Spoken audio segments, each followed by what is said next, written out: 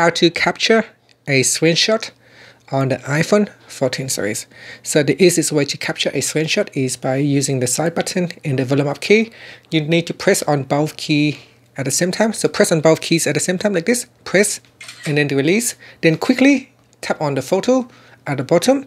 In here, you will be able to crop the photo by readjusting the handle.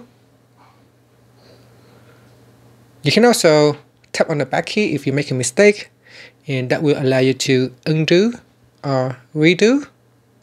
You can also draw on your screenshot by tapping on the pen icon. At the bottom here, you can select a different pen.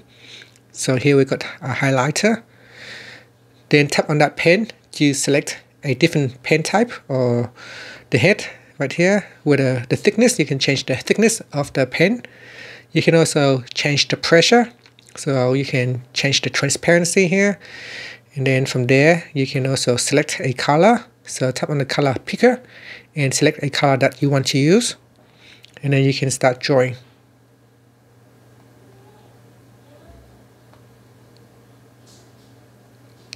Hi. And then you can also use the eraser to erase your mistakes. So you can tap on the eraser to choose a bigger one so that you can erase things quickly. And if you want to draw an arrow, you can do that too. Now you can choose the size of your pen tip and then you can kind of draw an arrow. We can select a different color.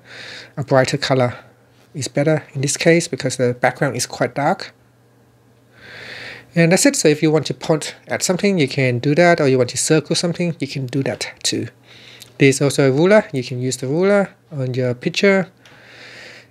And you can tap on the add button to add in certain objects such as description, text, signature, or shapes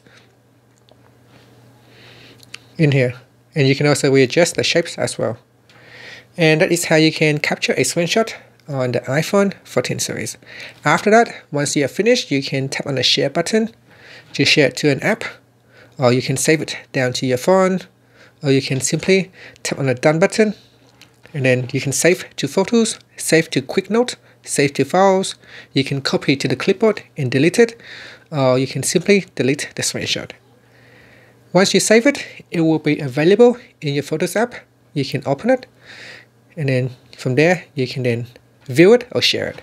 Thank you for watching this video. Please subscribe to my channel for more videos.